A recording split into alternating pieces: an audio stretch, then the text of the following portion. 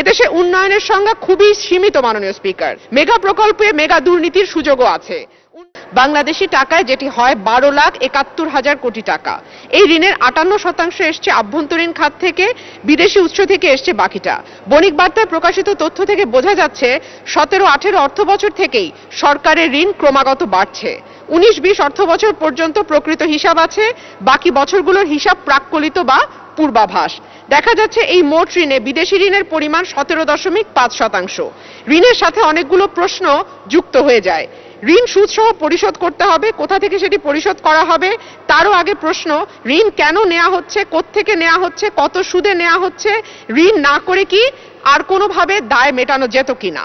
ঋণের পরিমাণ যাই হোক না কেন, ঋণের টাকায় কর্মচারীদের বেতন ভাতা দেয়া হয় না। পরিসংখ্যান ঘাটলে দেখা যাবে আমাদের উন্নয়ন বাজেটের প্রায় সবটাই কিন্তু ঋণের টাকা। উন্নয়নের খরচের জন্য বাজেটে কোনো উদ্বৃত্ত থাকে না। আয় বেশি হবে, সরকারের খরচ কম হবে, উদ্বৃত্ত টাকায় হবে উন্নয়ন কর্মসূচি। এই কাজটি কোনো বছর বাংলাদেশে হয় না। সব বছরই আমাদের ঘাটতি বাজেট থাকে, অর্থাৎ যত টাকা দরকার, তত টাকা আমাদের রাজস্ব আয় হচ্ছে না। ফলে প্রতি বছর উন্নয়নের জন্য আমাদের ধার দেনা করতে হয়। এদেশে উন্নয়নের সংজ্ঞা খুবই সীমিত মাননীয় স্পিকার। রাস্তাঘাট, ফ্লাইওভার, ব্রিজ নির্মাণ সহ কিছু মেগা প্রকল্প হাতে নেওয়াকে উন্নয়ন বলা হয়। আর এইসব মেগা প্রকল্প দফায় দফায় সময় বৃদ্ধি পায়, টাকার অঙ্ক বাড়ানো হয়। এই বছর দোসরা জানুয়ারি পরিকল্পনা মন্ত্রী এম এ মান্নান নিজে বলেছেন, দুর্নীতি আছে, এটি স্বীকার করতেই হবে। মেগা প্রকল্পে মেগা দুর্নীতির সুযোগও আছে।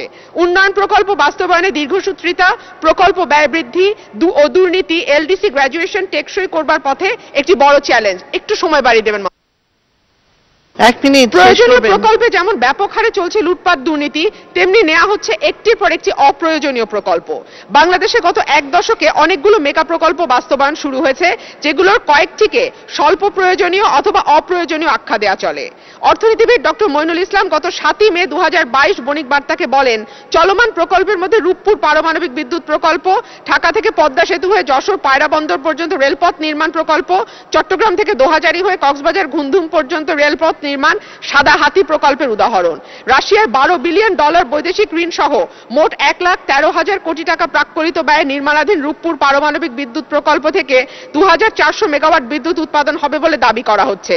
সবচেয়ে দুর্ভাগ্যজনক হল, রাশিয়া ভারতে একই ক্যাপাসিটির পারমাণবিক বিদ্যুৎ প্রকল্প নির্মাণ করে দিয়েছে রূপপুরের অর্ধেক ব্যয়। এক্ষেত্রে প্রশ্ন ওঠার যৌক্তিক যে বাংলাদেশ কেন এত বেশি বৈদেশিক ঋণ নিয়ে রাশিয়ার সঙ্গে এই পারমাণবিক বিদ্যুৎ প্রকল্প নির্মাণের জন্য চুক্তি করেছে। এই ঋণ পরিশোধে বিশ বছর সময় লাগবে বলে সরকারিভাবে জানা ধন্যবাদ মাননীয় সদস্য।